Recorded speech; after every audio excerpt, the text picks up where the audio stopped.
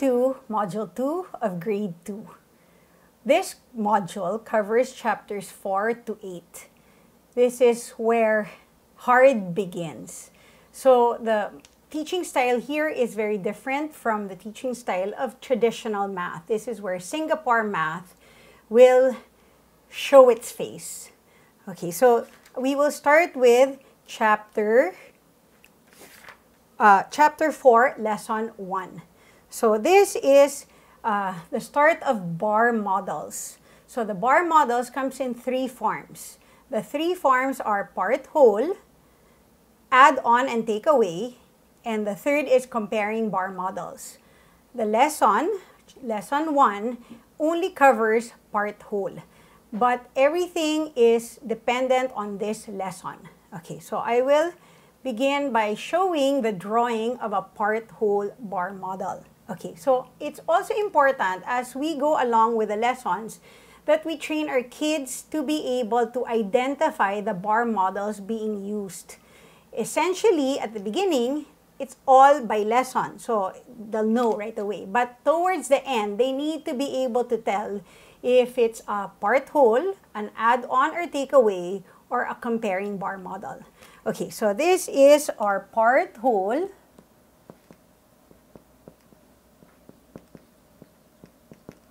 Bar model. Okay, so in essence, there's only one way of drawing it. The drawing is a single bar.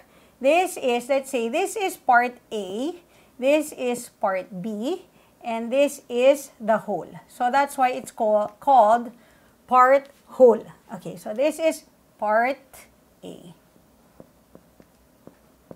Okay, and this is part B. Okay, so if it's hard for our kids to draw, let them draw with lines with a bar so that uh, they won't be stressed. Okay, I usually will tell students to put in the name of the characters that go here. But uh, sometimes it's hard for the kids since they're only in grade 2 to write down the whole name. So the first letter is sufficient. Okay, so we have part A, part B, whole. So if part A is given, part B is given, and this is a question mark. That means this is an addition problem. Okay. If this is given, part A is given, part B is a question mark, and this is given. That makes it a subtraction problem. And finally, if this is the question mark, this is given, part B, and the whole is given, that as well is a subtraction problem. So this is important. This is not taught to the kids. Therefore, it's important that we teach our kids this strategy. Okay, so as examples, we have two problems coming from page 63. So this is problem number one. Okay, I'll read. It says, Helen bought 14 strawberries and Nala bought 17 strawberries. Okay, so the characters are Helen, and Nala. So here's Helen, here's Nala. Okay, Helen bought 14 strawberries. Okay, Nala bought 17 strawberries. Okay, the question is how much did they buy all together? So there's the question. So since we're given a part and we're given another part and the whole is missing, that means this is an addition problem. So therefore, again, from the last module, we start with a bigger number. Then we add the smaller number. Okay, then we start with a bigger component, 7, and we add the 4. So when we do, we have 7 needs a 3. We have an extra 1 that makes it 11. So which means this is 31. Okay, now when we draw as much as possible, we also want to make it so that the shapes are proportional. So this is not the best drawing, but it will do. Okay, so it takes a little bit of practice, so don't be so hard on your kids. Okay, the second example is number 4. Okay, for number 4, it says there are 21 mangoes in a box. six mangoes are rotten. How many are not rotten? Okay, so therefore we have a whole box of 21 mangoes. Six are rotten. So this is six is rotten.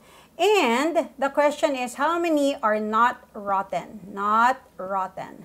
So again, hard for the kids to write rotten. So R is fine. And hard for the kids to even write not rotten. So NR is fine. So we're given the whole. We're given the first part. So we're missing a second part. This will be subtraction. So therefore, the bigger number, 21, is on top, minus the 6.